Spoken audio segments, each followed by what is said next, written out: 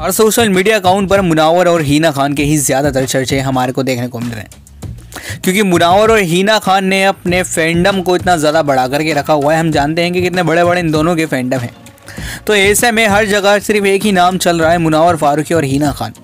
और जो सॉन्ग आ रहा है हल्की हल्की सी, उसके पोस्टर भी मुनावर एंड हीना खान अपने सोशल मीडिया अकाउंट पर एक लेटेस्ट डालते हुए आए नज़र।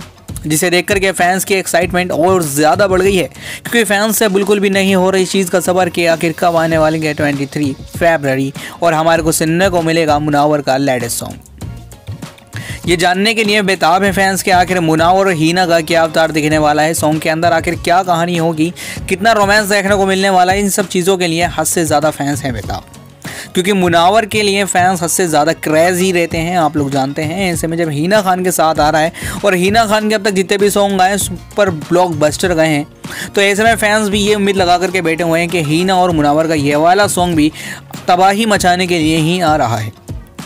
अभी ही मुनावर फारूक अपने सोशल मीडिया अकाउंट पर पोस्टर मैं आपको दिखा चुका हूँ, ये डालते हुए आए नज़र और हर सोशल मीडिया अकाउंट पर मुनावर फैंडम जितना भी बना हुआ है, सबके अकाउंट पर फिर मैंने ये तस्वीर ज़रूरी देखी।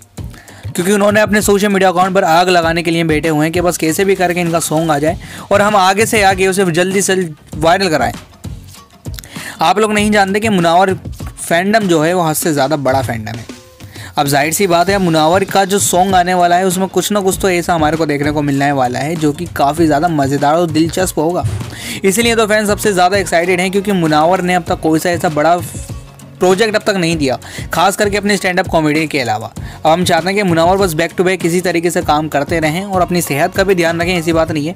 बस ऐसे ही मुनावर को जैसे अब तक कामयाबी मिलती आ रही है, ऐसे ही ज़िंदगी भर इनको ऐसे ही मिलती रहें।